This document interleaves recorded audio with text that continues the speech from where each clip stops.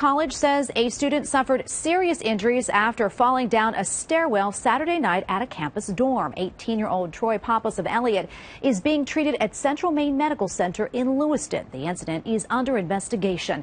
News 8's Norm Karkos is live on the Bates College campus in Lewiston with more. Norm? All right, Tracy. Well, both Bates College and Lewiston police are looking into the circumstances surrounding Troy Pappas' fall here on campus last Saturday night. Those here at Bates, including his teammates on the football team, certainly have this young man on their minds.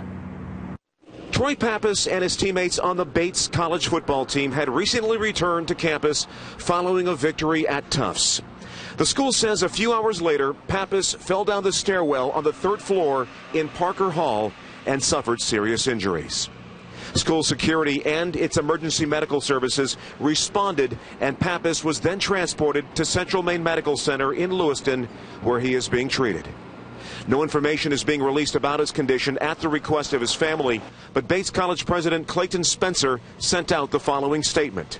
I would like to express my deepest concern and support for Troy and his family, and I hope you will join in all of us as we keep them in our thoughts and prayers. Bates College is working with Lewiston Police, which began its own investigation today, to look into the circumstances leading up to Pappas' fall. We obviously want to know what uh, he was doing uh, prior to that fall and who he was with and where he was, um, and so that's what we're looking at right now. Pappas came to Bates after a stellar academic and athletic career at Marshwood High School. He made the football team here at Bates as a freshman wide receiver.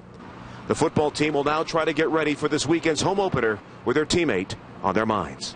Just a great kid, and uh, you know he's he's someone that we're you know we're, we're pulling for, and obviously, and and uh, you know it's it's really I think you know the, the whole situation has obviously impacted you know everybody here.